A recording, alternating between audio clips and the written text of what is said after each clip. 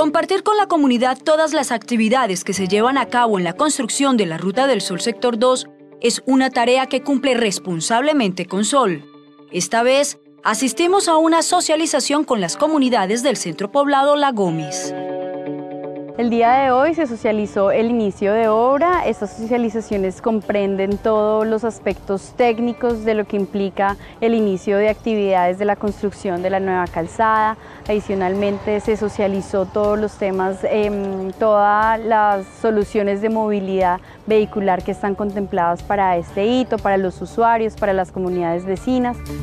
La construcción del hito 31, que abarca 10 kilómetros de vía en tramo recto, dejando por fuera la variante La Gómez, inicia en el PR30, ubicado en la vereda La Pampa, y finaliza en el PR40 más 100, en inmediaciones de la vereda Llano Grande.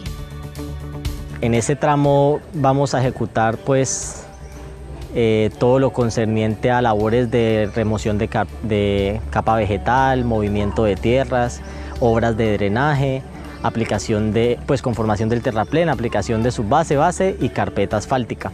Primero que todo vamos a tener trabajo que por aquí está muy escaso el trabajo. Segundo que todo, eh, una doble calzada por estos lados es muy buena. ¿Por qué? Porque podemos sacar mejor nuestros productos.